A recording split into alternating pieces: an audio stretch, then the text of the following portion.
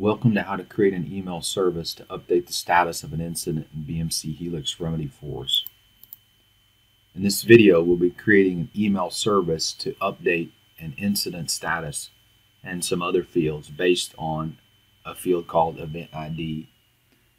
For this to work, we must use an, the generic email listener class in creating the email service.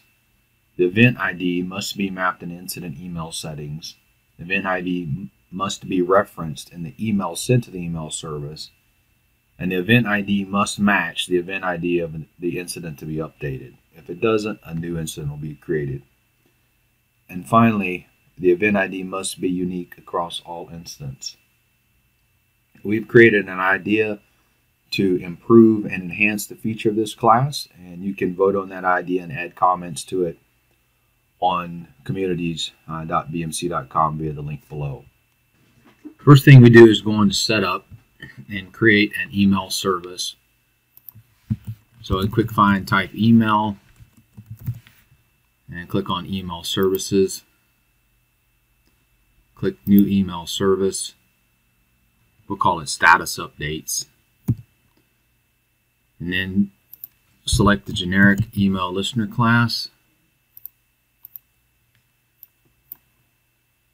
Make sure you select the class and not the test class. We'll keep it simple, so we'll just set it to active and then click save. I'd encourage you to enable error routing if you're doing this on your own for testing purposes. Click new email address.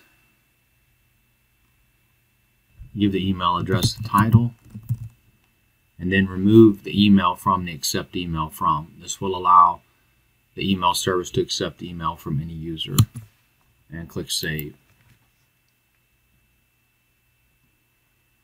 Okay, once that's done, we go to the Remedyforce Administration tab. We, from the Home tab, we select Configure Email, Incident Email Settings. We want to make sure the event ID is mapped. So we'll select the field and then uh, we're looking in the body of the email message, and then the keyword will be event ID, in this case, no spaces. And we'll make note that our delimiter is percent percent and click Save.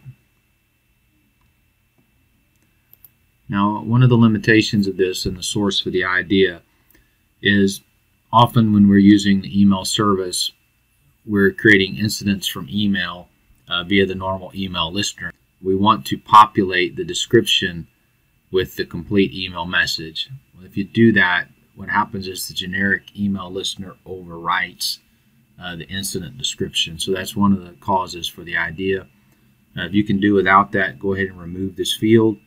Uh, otherwise, you can expect it to be overwritten anytime that you do a status update. An alternate option is to create another text field and map it and let the email service use that so the incident description doesn't get overwritten. But again, that's one of the limitations to it, so just be aware of it.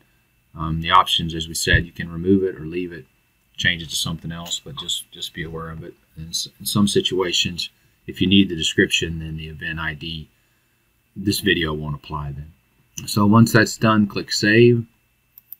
Now for testing, just email directly to uh, this particular email address. Before we craft the email, we're going to open an incident and select an incident to be updated. So we use 37609. In this case, we assume that an incident has already been created and it doesn't have an event ID, so we're going to we're going to put one in here. And for our purposes, we'll name it the same as the incident number. It can be whatever you want. Just make a note of it, as this has to match if you remember the conditions on the PowerPoint. Okay, and click Save. Okay, so now we have the body of the email. You notice we have the event ID, which corresponds to the event ID in the case down in the lower right. And we're going to manipulate the category and we're going to change the status to open. Before I do that, I want to make sure the status of the ticket is not open. Otherwise, we'll, won't work. Okay, so it's already open. So let's change it. Let's change the status to completed.